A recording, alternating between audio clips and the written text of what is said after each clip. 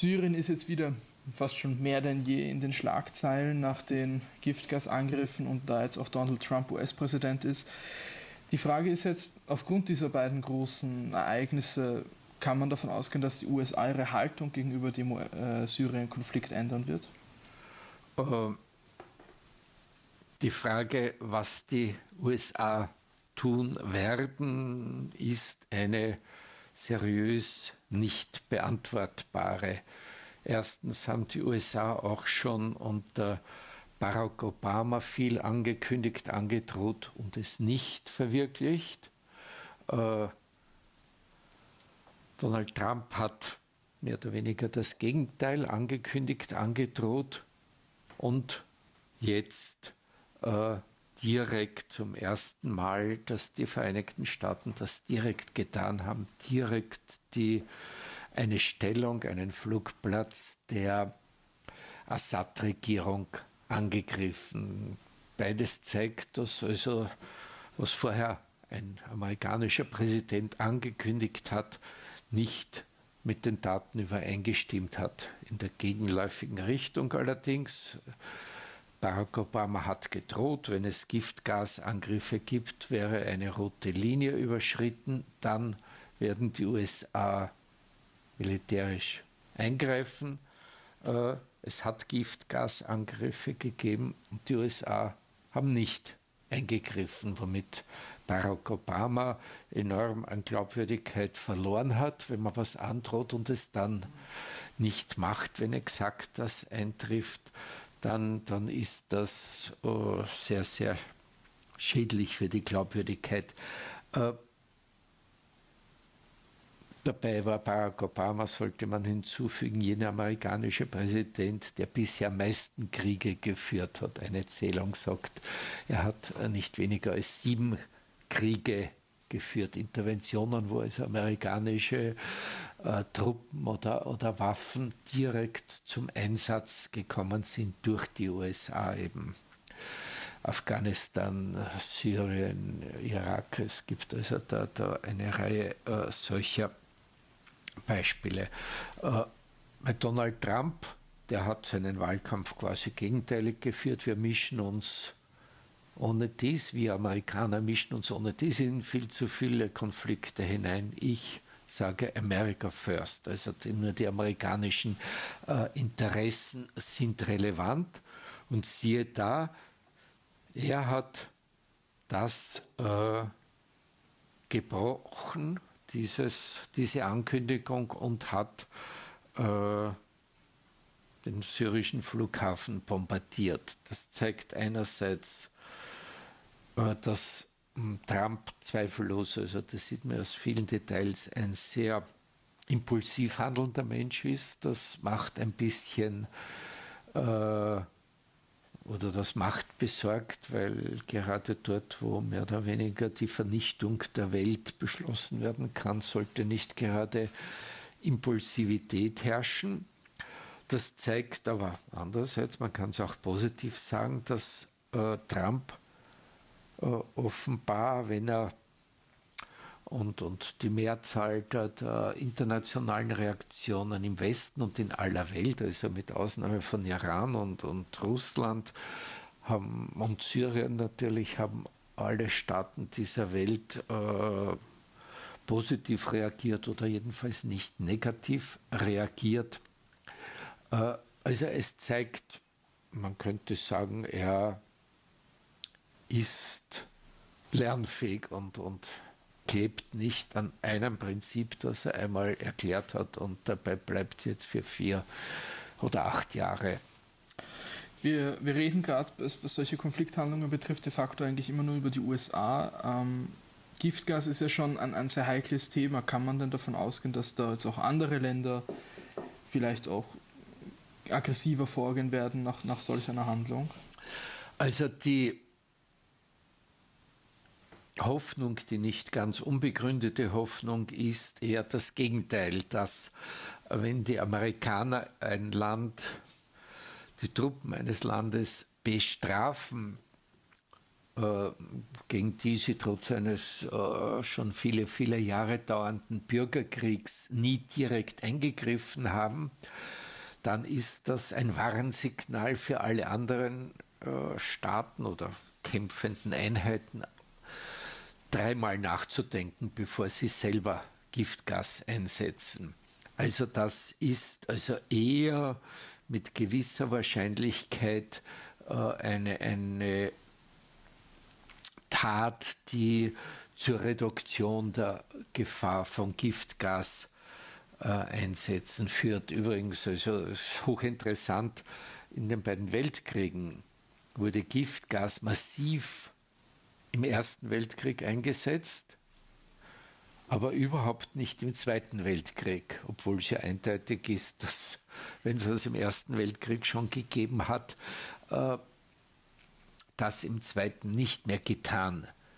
Äh, dass im Zweiten Weltkrieg es, es Giftgas natürlich äh, in jeder Menge gegeben hat in, in den Vorräten beider Kriegsseiten.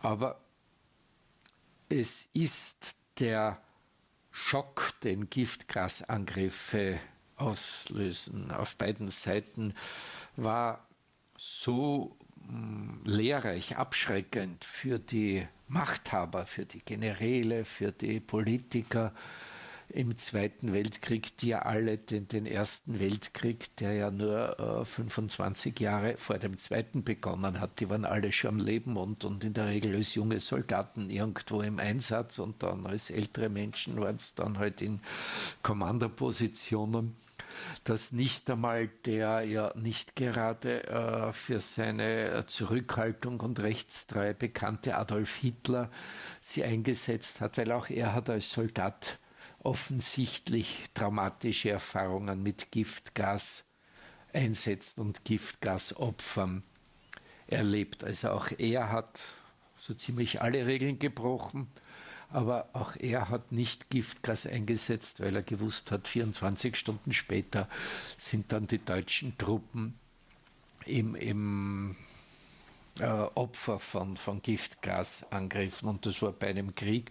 Im Ersten Weltkrieg hat, es klingt unglaublich zynisch, aber es ist höchstwahrscheinlich Tatsache, im Ersten Weltkrieg hat es so viel Menschenmaterial gegeben, weil da waren halt alle haben kind, Familienkinder im Schnitt äh, zehn Kinder gehabt und das ja, äh, das sind ja unglaublich menschenvernichtende Schlachten geführt worden, während im Zweiten Weltkrieg zwar manches Mal Hitler auch große Opfer gefordert hat, weil er was sie Stalingrad war ein Beispiel verboten hat, rechtzeitigen Rückzug, aber es sind trotzdem nie so menschenvernichtende Kriegsstrategien mehr äh, zur Anwendung gekommen wie im Ersten Weltkrieg. Und das äh, zeigt, Giftgasangriffe sind natürlich verlockend, weil du viel mehr Gegner vernichten kannst. Aber wenn du selber damit rechnen musst, entweder mit einem Giftgasangriff von der Gegenseite oder wenn äh, die, die äh, durch eine dritte Seite, und die Amerikaner sind nun einmal die weitaus größte militärische Macht auf der Welt, sozusagen ein Weltpolizist äh, dir eine über die Finger klopft, dann ist das äh, im Zweiten Weltkrieg war es das eindeutig und ist jetzt für die Zukunft mit einer gewissen Wahrscheinlichkeit abschreckend. Glaubst du, dass jetzt ein direktes Eingreifen vor Ort der Amerikaner zu einer Konfliktlösung beiträgt oder vielleicht Vergleiche Irak oder Afghanistan, der Konflikt erst jetzt eigentlich so richtig beginnt? Also die Amerikaner greifen nicht direkt ein. Sie haben nicht einmal Flugzeuge hingeschickt, sondern Tomahawk-Raketen, Cruise Missiles, die, die irgendwie nach der Landkarte, die Technologie durchschaue ich ja nicht ganz sehr niedrig fliegen können, dass sie nicht einmal vom Radar äh, erfasst werden. Also die Amerikaner äh, werden mit extrem hoher Wahrscheinlichkeit nicht mit eigenen äh, Soldaten nach Syrien hineingehen. Damit äh, ist die Gefahr sehr gering, dass, dass Vergeltungsschläge amerikanische Truppen treffen. Also ich glaube schon, dass eher die Wahrscheinlichkeit auch im Hinblick auf eine baldige Lösung des Syrien-Konflikts gewachsen ist. Denn was ist dort im letzten Kriegsjahr passiert? Da haben durch das Eingreifen der Sowjetunion, die auch nicht mit Bodentruppen oder nicht merkbaren Bodentruppen dort war, aber sehr viel mit Flugzeugen, äh, hat der Krieg eine Wende genommen. Die Assad-Regierung, die immer mehr mit dem Rücken zur Wand gestanden ist, hat wieder Oberwasser bekommen. Sie hat ein paar Städte zurückerobert und äh, sie hat äh, ähm, gegen alle, die, die Gegner sind ja unglaublich vielfältig. Das ist ja eines der, der äh, Hauptdefizite der Gegner und, und viele davon sind ja extreme äh, Islamisten, äh, hat jetzt mehrfach erklärt, äh, er hört nicht auf, bis er ganz Syrien zurückerobert hat. Und das bedeutet nicht nur Besiegung des islamischen Staats, Sieg über den islamischen Staat und diese zahllosen anderen Al-Nusra, die, die kaum besser sind und, und manche, die eher demokratischer sind, aber sehr undurchschaubar, vielfältig, schillernd.